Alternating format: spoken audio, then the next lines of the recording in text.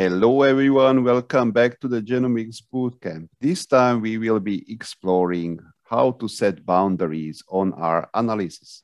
As an example, we will use the FST analysis between the Angora and Gumuz goat, what we did in one of the previous videos.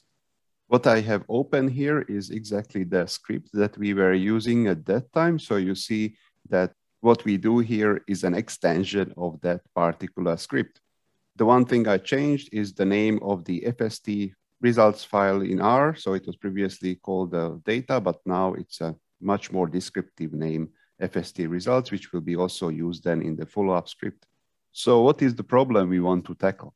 In the previous video, we have computed and visualized the FST results. So they look like this. And we basically ended up on a note that the highest signals need to be explored to see what kind of genes might reside in there. Now, the problem is to decide what are these highest regions exactly. So in other words, where to set the line, where to set a threshold above which we will check on the regions and below which we are not really interested in the SNPs. Now, there are different options to do this, and I present two here.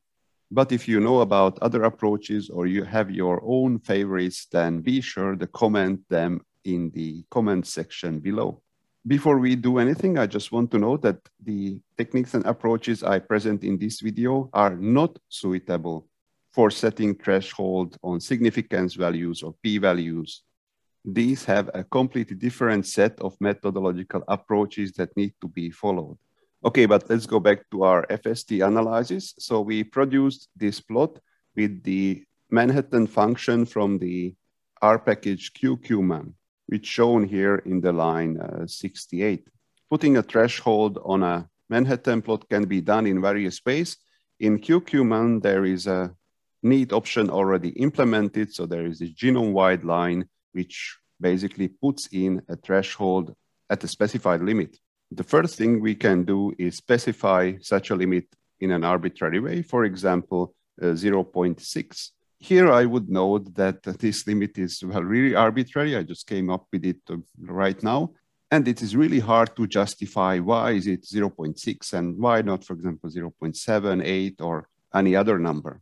So unless you find a really, really good reason and a source and resource why a certain threshold should be used and this hard defined threshold should be used, then uh, this uh, is rather discouraged. But still, this first option is nice for us right now to show how the threshold system works.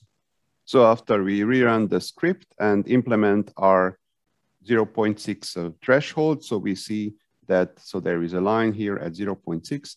And in this particular example, we would take the SNPs and the regions they are in as a result, and uh, we would uh, analyze these ones in a more detailed manner.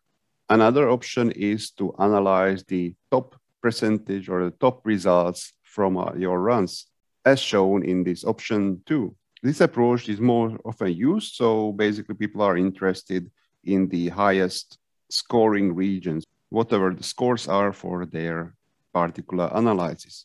Well, in fact, the definition of the limits by top percent of results is also a little bit arbitrary because there is no hard defined limit what thresholds should be used. Sometimes people use top 1%, top 0.1%, or top 0.01%.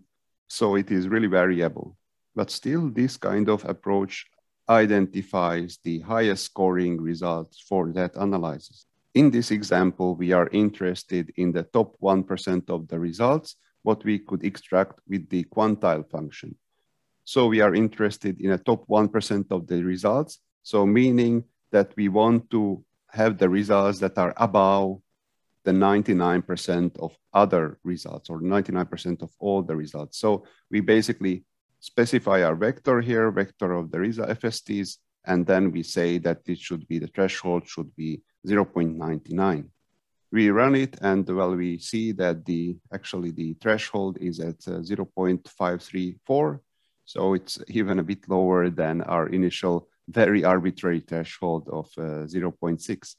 The difference between these two numbers, difference between 0.6 and 0.53 is uh, that while 0.6 was absolutely arbitrary, here you can justify why is this number exactly like this and what was the reason and what was the criterion to select it or how it was defined.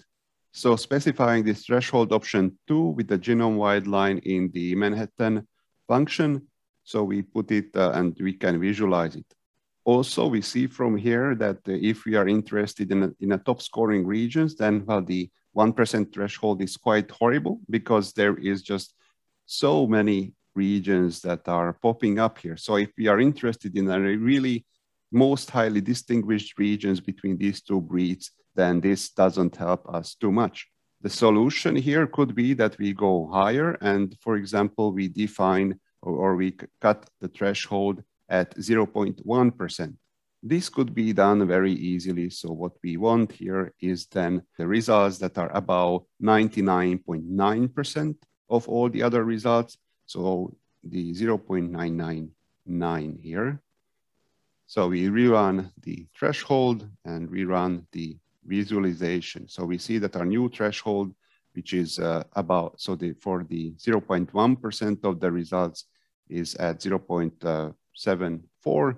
And about this is then uh, these relatively few uh, SNPs here.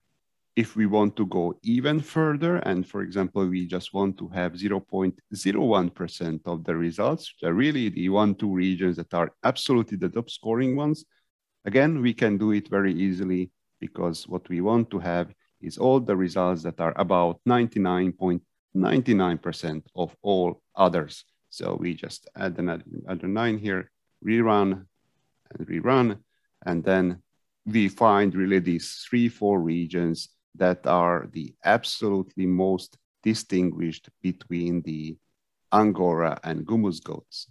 Well, I hope this input was useful for you. If you liked it, then be sure to like the video. If you are not subscribed, which is, by the way, most of you who are watching, then be sure also to subscribe and also then return and check out the other videos on the Genomics Bootcamp channel.